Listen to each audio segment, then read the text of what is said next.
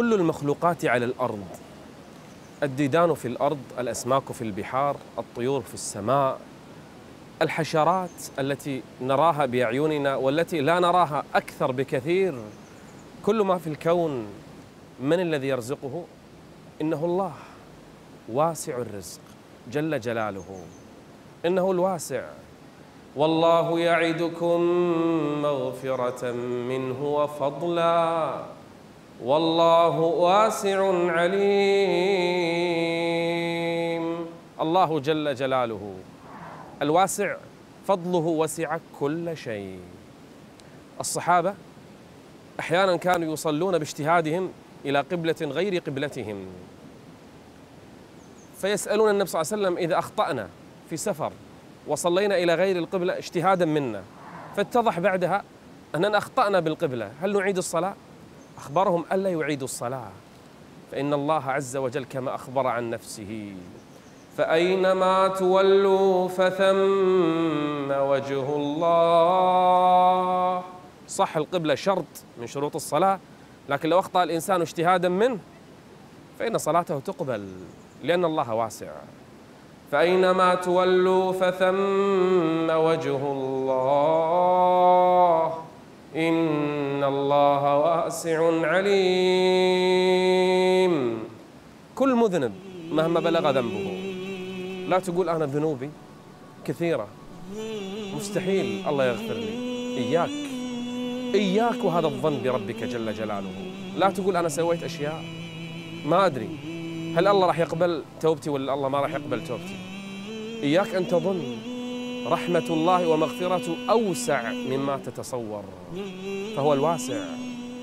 إن ربك واسع المغفرة. أناس طول حياتهم ذنوب ومعاصي قبل الوفاة. تابوا صادقين. تاب الله عليهم وأدخلهم الجنة. بل أبدل كل سيئاتهم حسنات. لما؟ لأن ربك هو الواسع. رزقه واسع. رحمته واسعة. مغفرته واسعة فضله واسع حتى علمه جل جلاله وسع كل شيء. خلقه واسع وإنا لموسعون. أي نوسع السماوات والأرض والكون كله. بل واسع أيضا جل جلاله وتقدست أسماؤه. واسع في أسمائه وصفاته ومدائحه. مهما أثنينا عليه مهما مدحناه مهما أثنينا على الرب عز وجل بأسماء وصفات فإن أسماءه وصفاته أعظم وأوسع مما نتصور ومدائحه أوسع مما نتخيل. لا نحصي ثناء عليك. لن يحصي أحد ثناء على الله عز وجل. هو الواسع. ترجو من غيره. هو الواسع. تطلب الرزق ممن غيره. هو الواسع. تسأل الفضل من سواه. هو الواسع. مهما وسعت ذنوبك فإن رحمته أوسع. مهما اتسعت حاجتك فإن فضله أوسع. مهما اتسعت مطالبك فإن رزقه وفضله وإجابته أوسع مما تتصور. والله واسع عليم. والله يعدكم مغفرة منه وفضلا والله واسع عليم. الله يا الله الله يا الله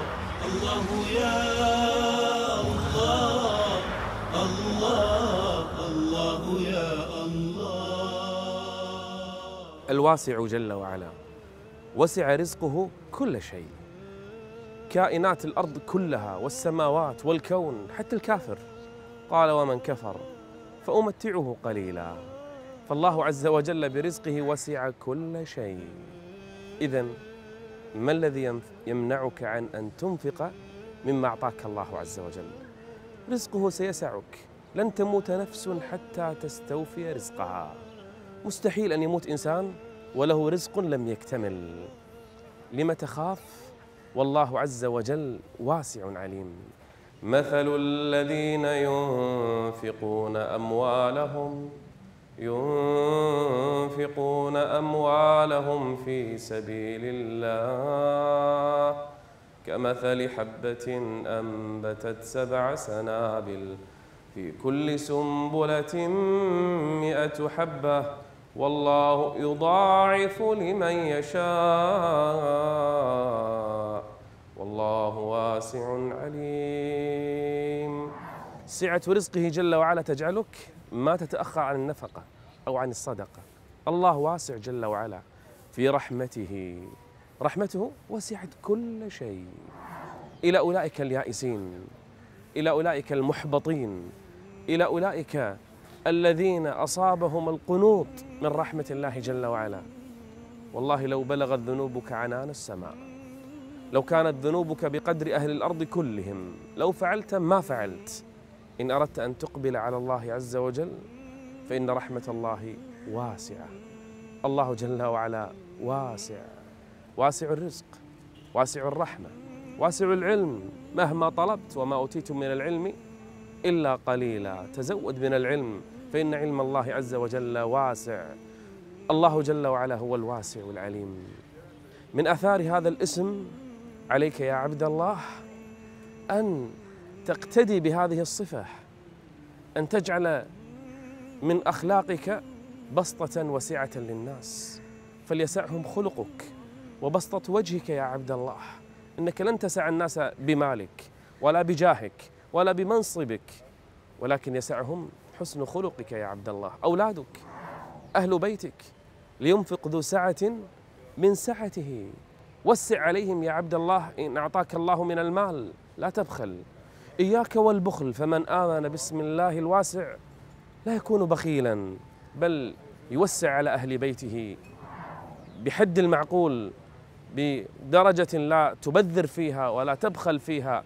وكان بين ذلك قواما أبسط للناس وأوسع عليهم من مالك للفقراء والمساكين وأهل بيتك أولى من غيرهم. وتذكر إن الله عز وجل واسع عليم.